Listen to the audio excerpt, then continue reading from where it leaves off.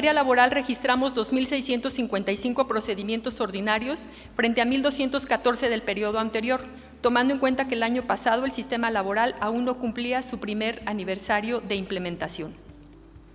El sistema penal escrito registró nuevos casos nuevos, lo que no significa que su trabajo sea escaso, sino que continúan con el trámite de los expedientes del sistema escrito aún vigentes.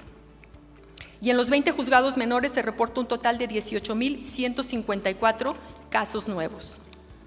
En el periodo que informo, los jueces del Estado de Querétaro conocieron de 72.107 asuntos. En comparación con el año pasado, representa un incremento del 9.5% en general, aunque como lo he precisado, hay incrementos específicos por materia. La coordinación de actuarios, que es una, un área de apoyo jurisdiccional, reporta incrementos en medidas urgentes del 12.8%, en ejecuciones, que son embargos, eh, remates aumentaron un 26.7% y las notificaciones en un 11.98%. Para agilizar la emisión de dictámenes a cargo de la Dirección de Psicología, el Consejo de la Judicatura autorizó la contratación de personal por servicios profesionales y de inmediato se logró reducir la asignación de citas a un mes en materia de trabajo social y de dos meses para los dictámenes en psicología. Con esto, para apoyar también los procedimientos en materia familiar. El incremento de casos jurisdiccionales genera la necesidad de hacer un llamado al foro de abogados y a la ciudadanía para resolver las controversias a través de mecanismos como la conciliación, la mediación o el arbitraje.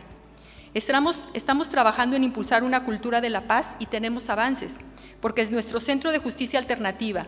Del universo de reuniones programadas, en el 83% de los casos logró terminar el conflicto a través de un convenio. De igual forma, impulsamos cada vez más la conciliación en los asuntos competencia de los asuntos de los juzgados menores, donde aumentó el número de convenios logrados en materia mercantil, ya que en el 70% de los casos se logró avenir a las partes. Por último, en cuanto a órganos jurisdiccionales de primera instancia, informo que arrancamos la segunda etapa de los juzgados penales especializados en violencia contra la mujer, que ya operan desde mayo de 2022 y a partir del 3 de julio de este año, las juezas de género, posterior a una vinculación a proceso, pueden conceder medidas necesarias y urgentes en materia familiar, como alimentos, custodia provisional o convivencias. Lo anterior, gracias a las nuevas disposiciones de la ley orgánica que las dota de dichas facultades competenciales. Acciones que favorecen a las mujeres víctimas de violencia y a sus hijos, Agradecemos al Poder Judicial del Estado de eh, al Poder Judicial del Estado de Coahuila, a USAID con Justicia y a la Comisión Nacional para Prevenir y Erradicar la Violencia contra las Mujeres, CONAVIM, el apoyo que nos brindaron durante este proceso. La segunda instancia emitió en este periodo un 13.8% más resoluciones en comparación con el periodo anterior, que fue de 5.313 resoluciones y ahora de 6.047, de las cuales 2.889 son de materia civil, de la que conocen dos salas, 2.537 son en materia familiar, que es conocida en un mayor porcentaje por la sala familiar y la auxilian las dos salas civiles, y 621 en materia penal, de la que conoce una sala. Sobresale de estos datos que aumentó el porcentaje de resoluciones emitidas de manera unitaria, porque a partir de la entrada en vigor de la nueva ley orgánica, se incrementó el tipo de resoluciones que son de dicho conocimiento lo que ha permitido agilizar el trabajo en la segunda instancia, igualmente, para dar una mejor respuesta a quienes están en espera de una resolución de apelación. Este incremento pasó de 715 resoluciones emitidas de forma unitaria durante el periodo anterior a 3.445 emitidas en el periodo de este informe, lo que representa que un 56.9% de los recursos, competencias de las salas de segunda instancia se resuelven de forma unitaria. Mi reconocimiento a las magistradas y magistrados por su compromiso con los justiciables en la labor jurisdiccional. La última estrategia para el fortalecimiento institucional es el uso de las tecnologías de la información, con la convicción de que es la herramienta adecuada para una justicia abierta y transparente, lo es el gobierno digital. En el Poder Judicial contamos con ingenieros desarrolladores de programas y sistemas y gracias a nuestros compañeros hemos avanzado en el uso de las tecnologías. Crearon el sistema CECIP, Sistema Electrónico de Servicios Internos al Personal, que en este periodo registró 8.414 solicitudes. Permitió el ahorro de 25.000 hojas de papel bond, redujo el tiempo de respuesta y evitó que el personal salga de sus áreas de trabajos para realizar un trámite interno o que tengan que desplazarse desde la región. Nuestro sistema de gestión Praxis, que opera en los juzgados de Querétaro y San Juan del Río, ahora lo instalamos en los cuatro, distritos, en los cuatro juzgados mixtos del resto de los distritos judiciales. Con ello logramos una cobertura en los seis distritos y primordialmente comunicaciones ágiles y seguras entre los juzgadores del Estado y un beneficio al justiciable, porque se ha registrado el envío de 1.291 exhortos electrónicos internos, lo cual favorece la prota diligenciación necesaria para continuar con un proceso judicial. En oralidad mercantil, ahora es posible visualizar las audiencias dentro del expediente electrónico por las partes procesales de un caso. De junio a agosto hemos publicado 199 audiencias. Con la finalidad de brindar un mejor servicio a los usuarios de otras entidades federativas que llevan un procedimiento en Querétaro, se aprobó por el Consejo de la Judicatura que el registro al sistema de expediente electrónico se pueda realizar por videoconferencia. De marzo a agosto suman en total 73 registros realizados en línea. A partir del mes de marzo del 2023, por acuerdo del Pleno del Tribunal Superior de Justicia, se habilitó el servicio de expediente electrónico en segunda instancia y desde esa fecha 484 tocas civiles, familiares y penales se consultan en línea y se han realizado 355 notificaciones de forma electrónica. Implementamos el sistema SER para simplificar y agilizar el proceso de entrega-recepción. Lo anterior, gracias al uso del sistema que nos permitió el Poder Ejecutivo a través del convenio de colaboración que suscribimos con el secretario de la Contraloría. Muchas gracias, gobernador y contralor, por el apoyo.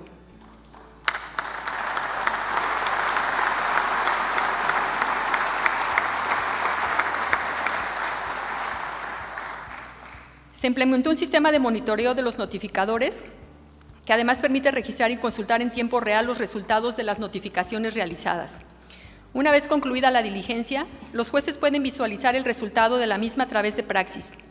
Este sistema generó una economía para el Poder Judicial de casi 3 millones de pesos, dado que ahora solo erogamos la cantidad de 208 mil.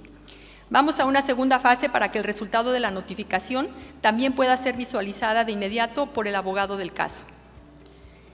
El acuerdo emitido por el Consejo de la Judicatura que autoriza y emplea el catálogo de promociones que pueden presentarse vía electrónica ha generado más uso de estos medios, lo que refleja la aceptación poco a poco por parte de los abogados y usuarios para cada vez más hacer uso de las tecnologías al ser métodos confiables y dejar atrás el papel que deba presentarse físicamente, lo cual evita tener que hacer largas filas de espera en oficialidad de partes a donde debe acudirse solo a presentar demandas iniciales o el reducido número de promociones con anexos que deben seguirse presentando de forma presencial.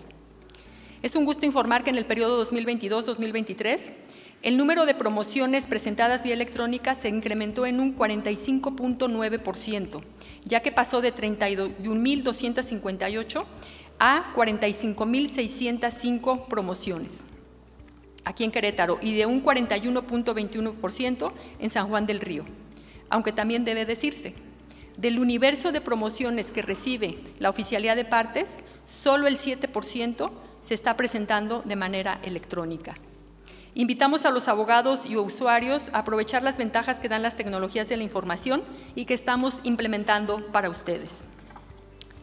A partir de la entrada en vigor del nuevo reglamento de la Oficina Central de Consignaciones, en el que se reguló el uso de depósitos y transferencias electrónicas bancarias y los convenios que hicimos también con las instituciones y mismo que se socializó con presidentes y colegios de abogados, hemos logrado que menos personas tengan que ir a realizar sus depósitos y retiros a la oficina de consignaciones. Del universo de depósitos y retiros de los que conoce esta área de apoyo jurisdiccional, el 77.9% se hicieron a través de cajero automático, en bancos o en medios electrónicos. También se realizaron 128.312 transferencias electrónicas a las cuentas de beneficiarios, principalmente en movimientos de pensión alimenticia. Agilización en trámites que impacta positivamente y favorece a las personas porque logramos una disminución del 18.72% en usuarios que acudían presencialmente a nuestras oficinas. Lo anterior tomando en cuenta que la Oficina Central de Consignaciones reporta un incremento del 11% en todos sus movimientos en general. Mi segundo eje de trabajo es el Poder Judicial abierto. Un poder judicial transparente, abierto y cercano es nuestro objetivo todos los días, a todas horas, en los seis distritos judiciales, porque la ciudadanía lo reclama. La práctica de un poder judicial transparente nos identifica como institución. El 13 de septiembre del 2022 presentamos la renovada imagen del portal de Internet del Poder Judicial con un nuevo dominio, diseñada bajo la firme convicción de una transparencia proactiva y de datos abiertos que no se limite al cumplimiento legal de las obligaciones en materia de transparencia. Brinda al usuario una experiencia virtual eficiente, accesible y rápida, con una reestructuración en su contenido que agiliza los procesos de consulta y transparencia. Esta página cuenta con dos micrositios, el de transparencia y el de la Unidad de Derechos Humanos e Igualdad de Género. Además, mensualmente en la página actualizamos la productividad de cada una de las áreas del Poder Judicial, así como las estadísticas de todos los juzgados por materia en cuanto a promociones y sentencias dictadas y pendientes por emitir, en un ejercicio de transparencia, pero también de rendición de cuentas constante. Publicamos las sentencias que emiten los órganos jurisdiccionales de primera y segunda instancia, así como los órganos administrativos en materia de responsabilidades, contabilizando un total en este periodo de 28.137 sentencias publicadas, con lo cual cumplimos con obligaciones de transparencia, pero no nos limitamos a ello. De los 28 poderes judiciales del país que cuentan con buscadores de sentencias, el nuestro tiene uno avanzado, con filtros de búsqueda específicos para localizar sentencias especiales lo que nos permite visualizar, por ejemplo, 6.450 sentencias con perspectiva de género publicadas. El sitio web también permite descargar un formato para que los usuarios puedan realizar su solicitud de acceso a la información. Registramos un incremento en las peticiones de acceso a la información, ya que pasamos de 281 el, año, el periodo pasado a 364 en el actual. De este universo de peticiones recibidas, hemos dado contestación al 94.7 y el resto, que son 19, se encuentran en trámite. Incluso, 72 solicitudes las remitimos a la página oficial por estar ahí publicada la información solicitada. De las peticiones contestadas, únicamente en un 2.3% se, se interpusieron recursos de revisión ante Infocro. A través del sitio web damos difusión a nuestros códigos de ética y de conducta por medio de infografías que mensualmente promueven un principio o valor de la función jurisdiccional. De igual forma, tenemos la campaña Conoce tus derechos, consistente en dar a conocer en un lenguaje sencillo los derechos de las personas usuarias de nuestros servicios. El Comité de Transparencia del Poder Judicial sesionó en 24 ocasiones y participó, junto con otros servidores públicos judiciales, en el Seminario de Justicia Abierta, coorganizado por Infocro y World Justice Project. Sin duda, la mejor acción de acercamiento con la sociedad es la creación del Observatorio Ciudadano del Poder Judicial, que informé desde mi informe anterior y que es hoy una realidad. A partir de la entrada en vigor de la nueva ley orgánica que contempla el Poder Judicial abierto, emitimos el reglamento del Tribunal Superior de Justicia y el del Observatorio Ciudadano. Tres ordenamientos que permitieron que en el mes de febrero de 2023 se instalara el observatorio en un proceso en el que estuvieron involucrados tanto el Pleno del Tribunal como el Consejo y la sociedad civil en general. El Consejo emitió la convocatoria para invitar a los interesados y presentó al Pleno las ternas correspondientes, de donde el Tribunal Pleno eligió al maestro en impuestos Omar Bautista Hernández de la Facultad de Contaduría y Administración de la Universidad Autónoma, de Querétaro como representante del sector académico, al doctor Norberto Alvarado Alegría del Colegio de Abogados Litigantes y de la Barra Queretana de Abogados como representante de las asociaciones de profesionales del Estado, a la arquitecta Isabel Fonseca Zamorano de la Cámara Mexicana de la Industria de la Construcción, CEMIC, y al licenciado José Luis Fernando Cámara Gil de la Asociación MIPIMES Industriales de Querétaro, los dos últimos como representantes de la sociedad civil. La primera sesión ordinaria fue el 14 de marzo de 2023 y a partir de ahí los respectivos representantes han estado observando y vigilando dos aspectos. En primer lugar, el gasto público a través del trabajo del Comité de Adquisiciones y segundo, la selección de jueces. Ambos temas desconocidos por las personas que siempre piden más jueces, más personal para agilizar sus procedimientos, así como se ignora la forma o método a través del cual se elige a los juzgadores. Hoy, representantes de profesionistas de la academia y de la sociedad civil en general conocen nuestros procesos internos, nuestras carencias y nuestras fortalezas para la distribución del presupuesto, así como la forma en la que se designan los jueces. En la primera sesión ordinaria, contamos con los mensajes de expertos en justicia abierta como Peter Sharp, a quien le mando un saludo porque está vía redes sociales, de CEPAL a Open Government Partnership, OGP, México Evalúa y World Justice Project. En otro rubro, agradezco al Foro de Abogados el continuar colaborando con nosotros. En el Poder Judicial del Estado de Querétaro no existen distracciones de ningún tipo, escuchamos al foro y a la ciudadanía en sus necesidades. Llevé a cabo cuatro reuniones trimestrales con los presidentes de colegios, barras y asociaciones de abogados, lo que ha permitido cercanía, pero principalmente conocer directamente las problemáticas que enfrentan en su día a día en juzgados y tribunales y, claro, darles respuesta a sus demandas y sugerencias. Gracias a estas reuniones de trabajo, mejoramos como institución y brindamos un mejor servicio al foro de abogados que directamente y sin intermediarios hacen llegar sus comentarios e inquietudes.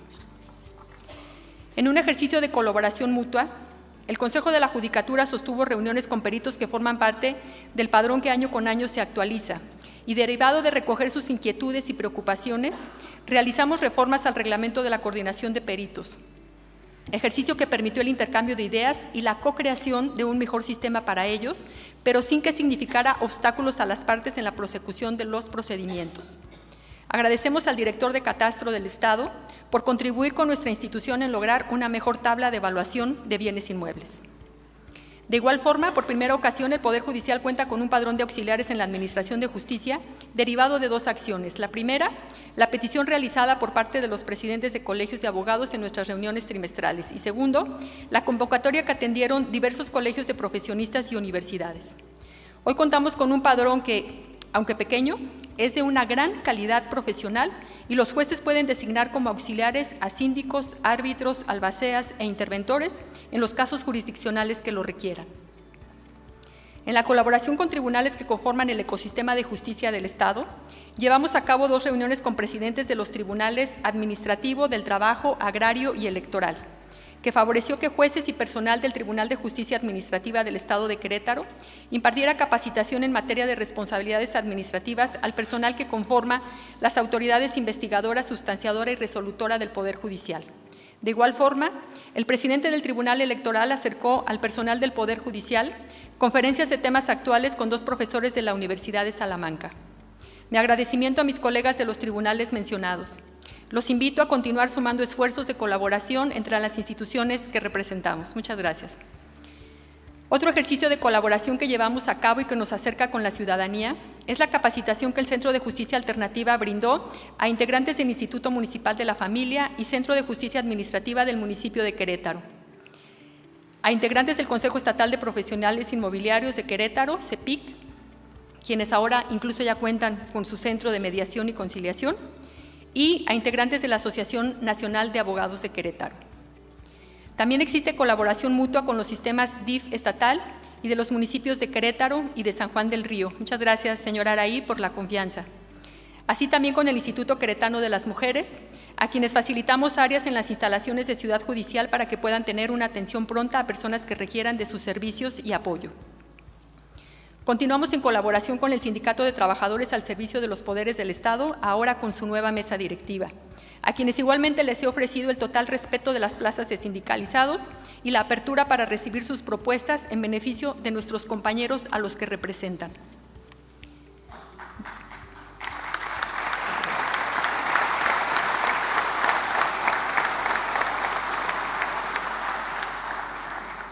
Dentro de la campaña Conoce al Poder Judicial, tuvimos la participación de estudiantes que acudieron a nuestras instalaciones a conocer a las, diversas áreas del Poder Judicial. Dialogaron con jueces, con directores, se les explicó la función al interior de una sala de audiencias. En el mismo sentido, nosotros acudimos a escuelas preparatorias y a la Dirección de Atención a Víctimas de la Secretaría de Seguridad Pública del municipio de Querétaro a dar pláticas sobre nuestra función y la importancia de conocer al Poder Judicial así como, un tema, así como temas relacionados con la prevención de delitos en adolescentes, acoso sexual en las aulas y medidas de protección en materia familiar. Agradecemos a todas las instituciones educativas su confianza. Redoblaremos los esfuerzos a partir del convenio de colaboración que firmamos en conjunto con UCEBEC, COVAC, CECITEC y CONALEP para llegar a un mayor universo de alumnos. Muchas gracias a la Secretaria de Educación del Estado de Querétaro por su colaboración para con el Poder Judicial y lograr la firma de este importante convenio.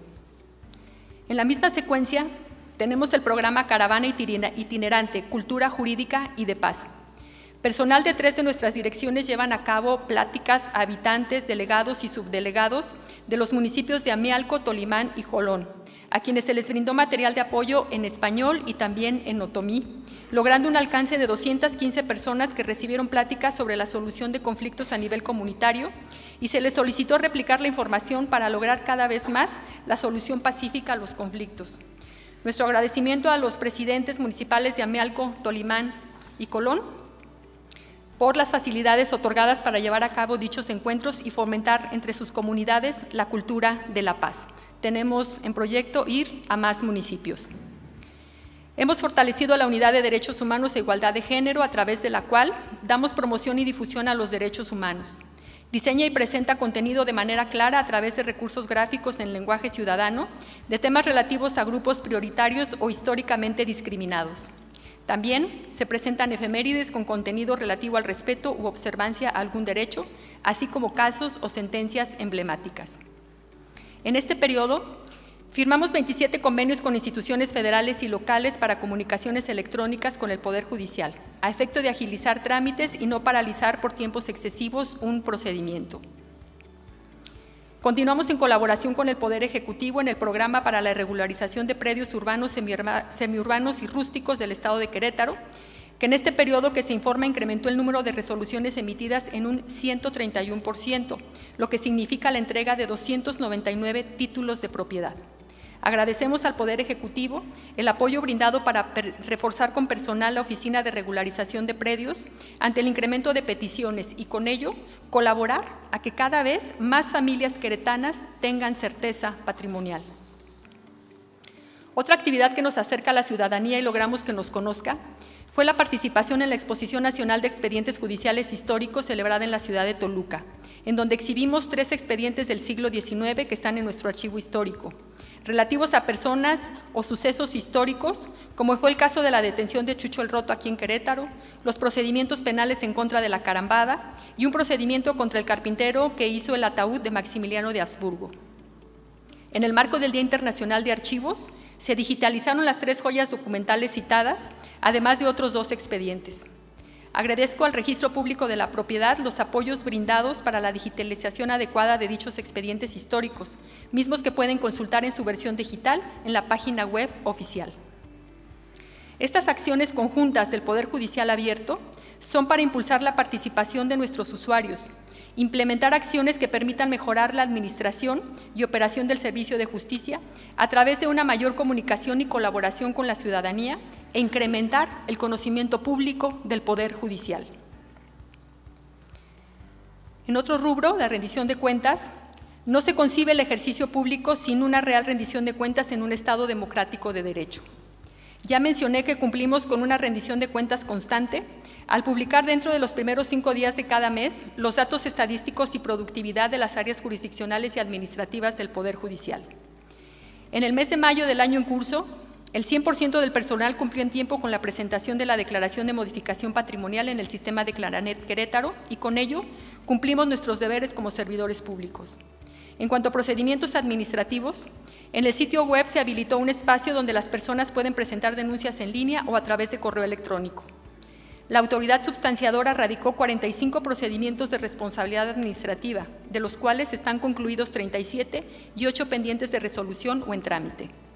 De los 37 procedimientos concluidos, dos resoluciones fueron absolutorias y en cinco de ellos se sancionó al servidor público denunciado. De igual forma, en un ejercicio cotidiano de rendición de cuentas, los medios de comunicación, frecuentemente por las mañanas, al cruzar la plaza para ir a mi oficina, están atentos y con necesidad de conocer información que generamos en el Poder Judicial o que como institución nos corresponde el conocimiento de algún procedimiento del que requieran informar a la ciudadanía. Mi gratitud a todos los medios de comunicación por su interés en difundir nuestras actividades. Una sociedad informada y que se informa tiene los elementos para participar de manera activa en un entorno de libertad de expresión y de democracia. Nuestro agradecimiento a Radio y Televisión Querétaro por la producción y postproducción del programa Poder Judicial TV, espacio de difusión de nuestras actividades que en el periodo que se informa emitió 40 programas en su horario de los martes a las 17.30 horas. Señor Gobernador, reconozco su compromiso por mejorar las condiciones de vida de los queretanos en todos los ámbitos. porque el apoyo que usted proporciona al Poder Judicial es en beneficio de los justiciables a efecto de agilizar los procesos de atención y mejora institucional. Muchas gracias, señor.